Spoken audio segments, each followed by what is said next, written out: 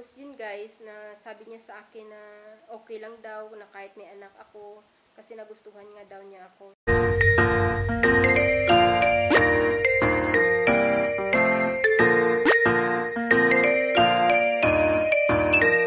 Hello guys! Welcome back to my channel. In this video guys, ikakwento ko sa inyo yung um, love story namin ng aking asawa. Kung paano kami nag-meet. And then, uh, without further ado, let's get started.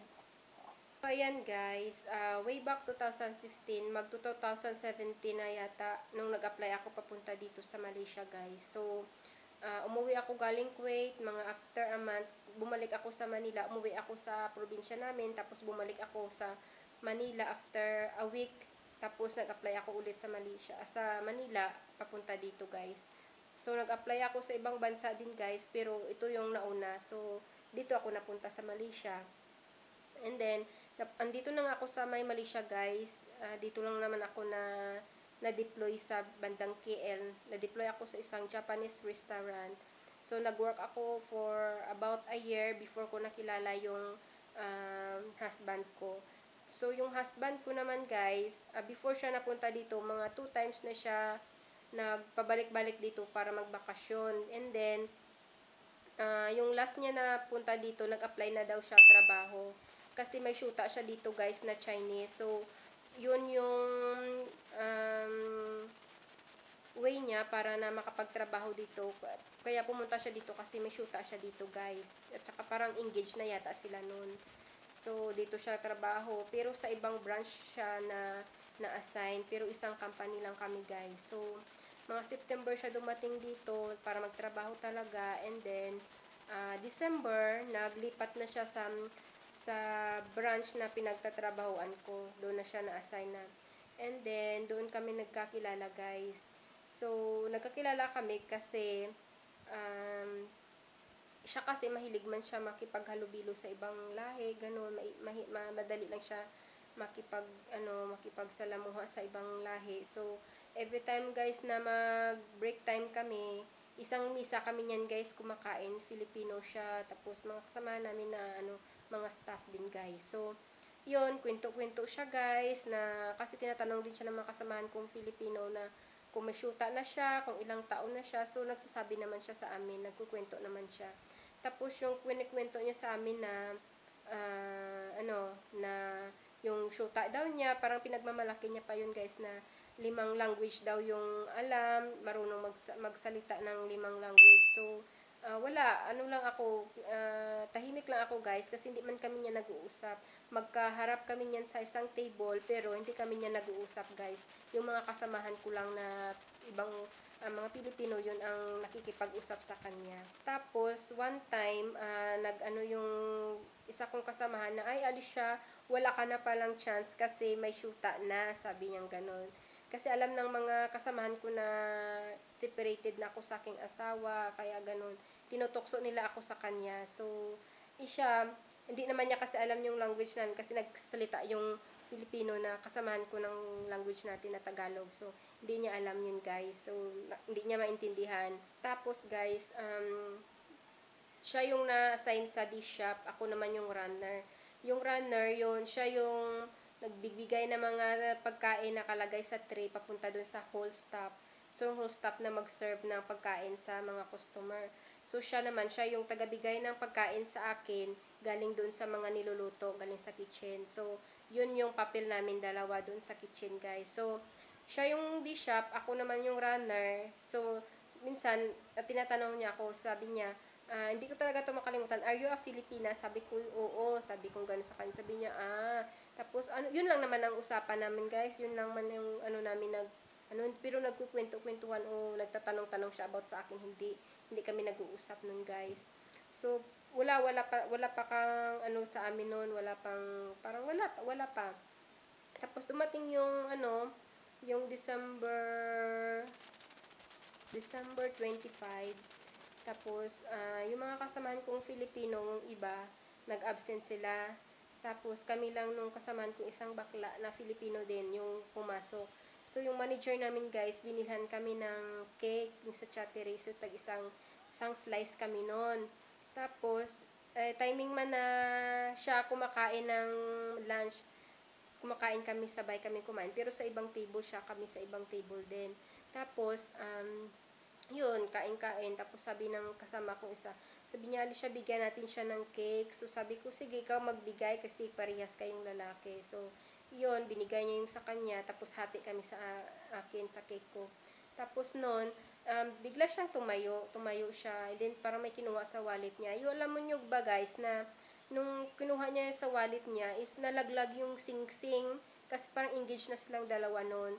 Um, kinuha niya yung sing-sing, tapos hindi, hindi niya kinuha yung singsing. May kinuha siya sa wallet niya, tapos biglang nahulog yung singsing papunta doon sa akin. Nag-ikot-ikot yung singsing papunta doon sa akin, sa ilalim ng upuan.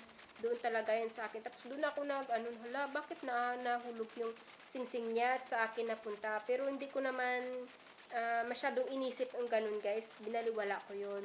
Tapos, sila pala daw ng shoota niya, yung Chinese, is 1 year and 6 months. Tapos, 1 year and 3 months, uh, LDR sila. And then, yung 3 months, yun, magkasama sila dito.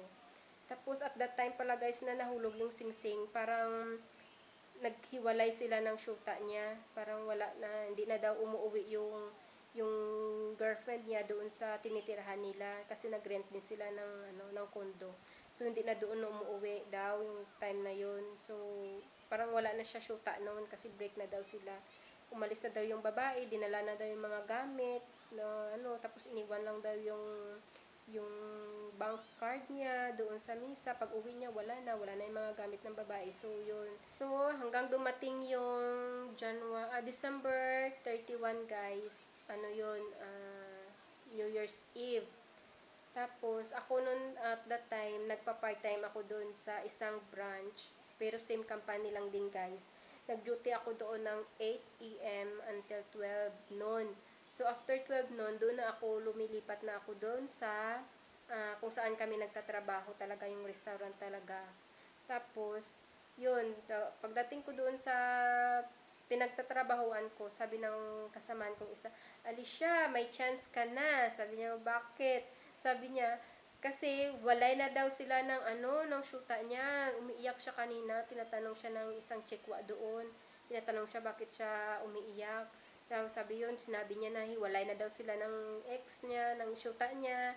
Nag ano na daw, malis na daw, hindi na daw umuwi doon. Tapos sabi ko, ah, okay. So yun, binaliwala ko yan din guys. Kasi wala naman talaga, talaga sa akin na gano'n na hindi, hindi ako, kumbaga, hindi ako interesado na magiging kami, sabi ko ganun. Kasi wala naman, hindi, man, hindi nga kami nag-uusap, sabi ko.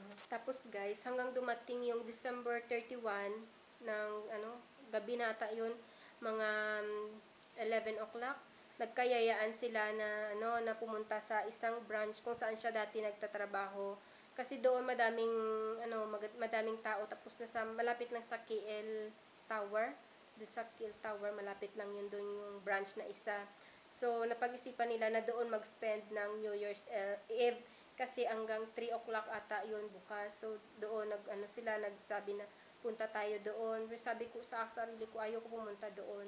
Hanggang sa niyaya niya ako na sabi niya punta daw doon, mga Pilipino na ano, kaibigan ko. Sabi niya, gusto mo ba sumama? Sabi ko, hindi kasi eh, wala, at that time, wala akong pera-pera guys. Kasi nga, ubus ko padala sa Pilipinas. Tapos malayo pa yung sahod, sahuran. Kaya hindi ako sumama. Hindi ako nag, ano sa kanya, nasasama ko. Pero pinilit nila ako na sasama. Kasabi na, utusan kita ate kung hindi ka sasama sa amin. Kaya yun, pag nag-desisyon na din ako na sumama sa kanila. Kaya yun, nantay niya ako. No, una-una kasi siya out sa akin. So, inantay niya ako sa labas ng shop. Tapos sumama siya sa akin sa kondo kung saan ako nakatira. Tapos yun, nagbihis lang ako. Tapos umalis na din kami. So nakarating kami siguro doon mga almost 2 o'clock na din. So pagdating doon, kumain lang kami. Sila nag-inom ng beer. Tapos kwento-kwento. Tapos umuwi na. So, yung kinain ko, yung pamasahe siya, nagbayad. Kasi at that time, magkano lang ba? 100 ringgit lang yung pera ko. Hiniram ko pa yun guys sa kaibigan ko. Kasi wala talaga akong kapira-pira guys. So siya nagbayad. Tapos yun. Tapos parang pauwi na kami para pang inano niya ako dito sabi niya ay na, ano daw cute daw ako sabi niya ganun cute daw ako sabi na nahiya naman ako kasi ang dami-daming ano mga tao mga kaibigan ko tapos yun sinabi niya sa akin Pero binaliwala ko din yun guys. So, kinabukasan noon wala kaming trabaho, off kami lahat. Tapos, ako may 2 days ano ako annual leave na hindi ko naubos. So, inubos ko nung time na yun. So, nag, nag-leave ako 2 days. So, bumalik ako sa work is January 4 na. And then, nung bumalik ako guys sa work, uh, nagsabi yung kaibigan ko na ano daw, na hinanap niya daw, hiningi daw yung number ko sa kanya. Tapos sabi ng kaibigan ko, wala, wala daw siyang maibigay kasi hindi naman niya alam yung number ko. So, hindi kami, hindi nangyari yun na ano kasi sabi niya, yayain niya daw ako na kumain sa labas. So, hindi nangyari yun guys kasi hindi niya ako nakontak. Tapos, nung gabi na yun guys, na pumasok ako, nung gabi na yun, uh, doon na nagsimula na, na una, una kasi siyang out sa akin, ako nahuli pa kasi maglilinis pa kami niyan sa restaurant bago kami umuwi. So, kami nahuli, nahuli ako umuwi. So, sabi niya lang sa akin, lapitan niya talaga ako guys. Pumunta siya sa akin sa section ko at sinabi niya na antayin niya daw ako sa labas Ganon, sabay kami daw uwi. Tapos doon ako kinabahan. Sabi ko, hala, bakit niya ako antayin? Sabi ko ganon. Parang kinabahan na ako doon. Tapos yung mga kasamahan kong iba, kinikilig na. Kasi ayan na, ayan na. Sabi nila ganon.